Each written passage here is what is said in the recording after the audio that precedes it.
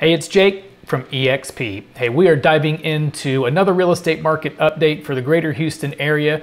It is August of 2022. We are going to be revisiting the numbers that have come in and recap the market for July of 2022. In this ever changing market, it's always good to stay up to date with what's going on, whether you're buying, selling, or investing. Let's get down to brass tacks. So let's get to it right now.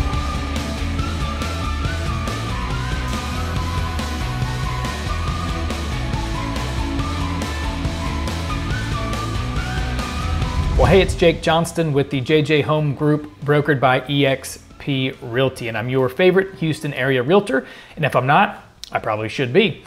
We're talking to people every single day. They want to know what's going on in this ever changing market around the greater Houston area. So if that is you and you're even thinking about getting into the market, you need to reach out to me today or even sooner so we can get up to speed on what's going on and set out a great game plan for you and your family talking to people every single day. So whether you're buying, selling, or investing in real estate, please know I've got your back for everything you might need. 281 660 4797, best way to reach me through talk or text. All right, let's jump into the numbers here. And if this is your first time visiting the channel, go ahead and hit the subscribe button in the bottom corner and tap that bell so you can be notified anytime we put out a new video. We're constantly updating the channel with everything you wanna know about exactly what it's like to live in the greater Houston area and be a home buyer or a home seller in this market. All right, let me pull my screen up and share the data with you guys as we're looking at this and tracking this every single month. You'll probably notice some recurring themes from what we've been talking about here over the last few months. But real quick, the greater overview, 5,000 foot overview of the Houston, Texas market. You kind of see some numbers in here that historically over the last 12 months, we weren't really used to seeing, but they've become the trend over the last three or four months. And we're talking about sales right here. Total sales are down about 17.4%. And this is compared to this time of last year. So you see our total July closings for 22, a little over 10,000. July of 21, a little over 12,000. So we're down about 17.5%. Active listings, this is the other big key indicator we've been seeing. More homes are coming on the market. And I think this is a result of the fact that home sales have slowed. So we've got more active listings out there. Buyers are kind of hanging out on the sidelines right now. We've got inflation going on. We've got interest rates that have risen over the past few months. Um, and just overall, I think some buyers are a little bit apprehensive to get into the market. However, I'll show you here in a little bit, there are signs that there are still plenty of home buyers out there. So don't fret from that perspective because I think there's good opportunities and there's home buyers out there taking advantage. But in any event, active listings are up 30%. Again, we're comparing this to last summer in July of 21. Uh, the another key number to focus on down here on the right hand corner, our pending home sales are down 12.5%. Obviously, if, if you know anything about supply and demand and basic economics, seeing this trend, it shouldn't surprise you that home values have cooled a little bit. We're not seeing those record appreciation rates of 20 to 25%. We're hovering closer in like the 10 to 15% range, depending on where you're located. Uh, you can see here for the greater Houston area, you know, Harris County, 7 million people, it's right around 10%. So again, this is comparing this year to last year. We always want to see this number in the positives. If this number is in the negatives, we're in real trouble because we are in a free fall, more or less. But the good news is, is we're not there. So here's the snapshot of the Houston market. I'm gonna dive into my tracking sheet here. This is the area I work. I'm located up on the north side of town. I'm in Spring and Klein Independent School District. I work anywhere from the Beltway up to Lake Conroe. And so you'll see here on the left-hand side, the areas I normally work.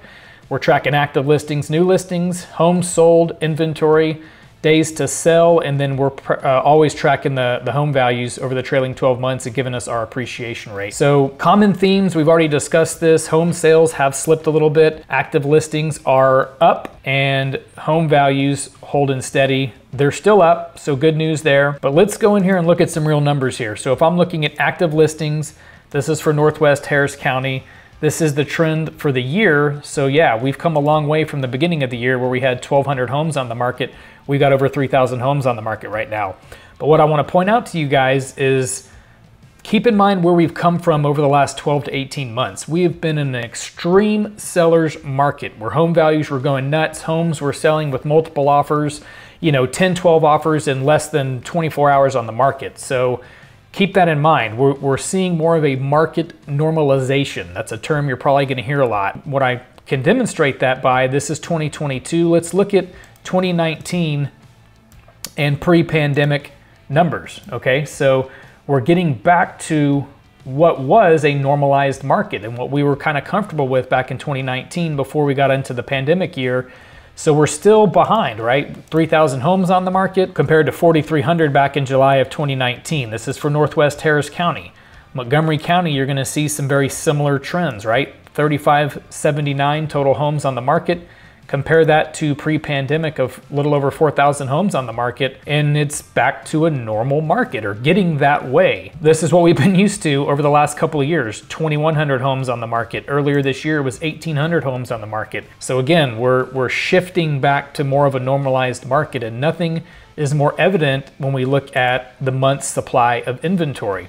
This is the driver of what is a buyer's and seller's market. So a normal market is about six months of inventory. Anything below that number, you have a seller's market. Anything above six months is a buyer's market. Now, when we talk about months of available inventory, right here at 2.2 months of inventory. So this means if nothing else came on the market, no new homes were listed, it would take us approximately 2.2 months to sell everything on the market and then we'd be out of homes for sale. So that's what inventory means exactly. But again, compare this to pre-pandemic numbers.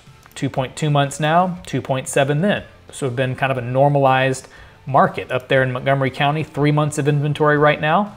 Normalized markets kind of hovering in this three and a half to four months of inventory. Don't hit the panic button. I think this is a normal trend that we're gonna see as home sales drop, more listings come on the market. We are gonna see our inventory spread out a little bit. We're gonna have more inventory on the market but that's just getting us back to a normalized market. I think we got comfortable in these, you know, super fast paced markets. So buyers, I think you can take a, a, deep breath. I think there's more options out there for you today than there was six months ago. That's evident in these numbers. Home sellers, I think your strategy has to change that when we were pricing homes out back at the beginning of the year, it was looking at historical data, but then maybe padding in, you know, 10 or 20 grand maybe more depending on exactly your price point. But you were fine to do that and stretched a little bit because there were no other options. There was no competitions. Now, home sellers, you've got to be a bit more strategic. You've got to look at what these other homes are selling for today. The numbers from February, March, and April are probably irrelevant when it comes to home comps because that was a different market back then. When you're looking at this market normalization, what normally would take about 12 months to normalize a market has compressed down into about 60 days. So that's what I think this drastic change has happened is because it's all happening so fast. But here's the good news. Let's look at average days to sell. Time on market is still extremely low. What does that mean? Homes are still selling and they're selling fast. But it is those homes that are priced accurately and correctly that are selling. The sellers that are still operating on the mindset from first quarter of 2022, you're probably overpricing your homes and that's why we're seeing more and more price reductions out there in the market. But compare this what we're seeing now with still 15 days on the market. Even last year that was pretty normal, but pre-pandemic we were looking at 40 days on the market to sell a home. In Montgomery County, it was over 50. So we're still well below what was a normal market in terms of days on the market. So that shows me that home buyers are still out there. Yes, I think some have pulled back, but there are still plenty of home buyers out there seizing the good opportunities that present themselves. So at the end of the day, where are we headed? I think if these trends continue in terms of our home sales dropping, I think we're going to see that continue as we get into the start of the school year, which is fairly normal for this time of year. But I also think that's going to continue to drive these active listings upward, more homes on the market home values, I think this will probably see this trend continue as it cools. 10% appreciation is still incredible. We normally hover around a 3 to 6% appreciation over the Houston area, so we're still doing really well in terms of home values. I don't see this going to completely reverse and drop the bottom dropping out, but I do think this is going to continue as we get into the fall and into the winter, and eventually, hopefully, we can relieve some pressure on overall inflation relieve some pressure on the interest rate, give some purchasing power back to the home buyers out there so that they can be confident and get back into the marketplace and buy up some of the homes that are on the market. So the market is cooling, but I think we're getting back to a normal market condition. So no worries out there. There's still good opportunities. Loans are still affordable. There's still some good opportunities if you're a home buyer. If you're a seller, you can still make more money today than you would have made last year. You just have to be more strategic in how you price your home, how you prepare it for the market, because you are having to compete more now than you were even three months ago in the market. So all is good in the Houston area. We still have a lot of people that are moving here. I've got two buyers right now that I'm working with that are from out of state. They've never been here. They're pursuing a better lifestyle opportunity in the greater Houston area. I think that's going to continue. More people will be moving here every single day. So overall, I think the market's in good shape. I just think we're cooling off back to what can be considered a more normalized market for what we're used to pre-pandemic. So I hope that's been helpful. Hope you guys can get some good information about what's going on with the real estate market in the greater Houston area. Reach out to me anytime, talk or text. You can leave a comment below tap that subscribe button, ring the bell. We want to hear from you. I want to partner up with you, build a relationship, understand your needs at the highest level so that I can help you guys accomplish your real estate goals. So whether you're buying, selling, or investing, I've got your back with anything you guys need. Have a great day and a great week. Stay safe.